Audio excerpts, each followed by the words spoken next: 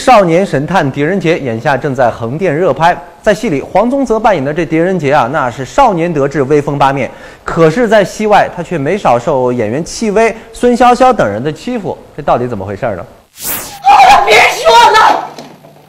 电视剧《少年神探狄仁杰》眼下正在横店影视城内紧张拍摄。和之前梁冠华、刘德华等人演绎的狄仁杰故事不同，这一版的狄仁杰走的是青春偶像路线。比如黄宗泽饰演的狄仁杰，一边要和好搭档元芳一起破案追凶，一边还得抽出时间和戚薇饰演的李婉清谈感情，可是有的他忙。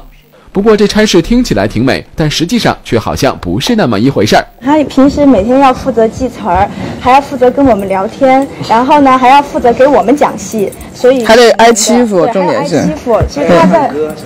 对最炫民族风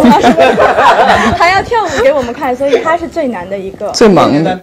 玩笑归玩笑，相信您也看出来了，这群主演们之间的关系可是相当融洽。而刚刚开始来内地拍戏的黄宗泽，他所做的努力也是让剧组的每一个人都看在了眼里。他所有的台词全部都坚持用普通话，但是他会突然，比如说一人分饰两角这件事情，今天他走了三遍戏都是一人分饰两角，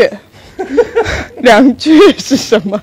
古装嘛，古装难免是有一些。呃，比较比较，就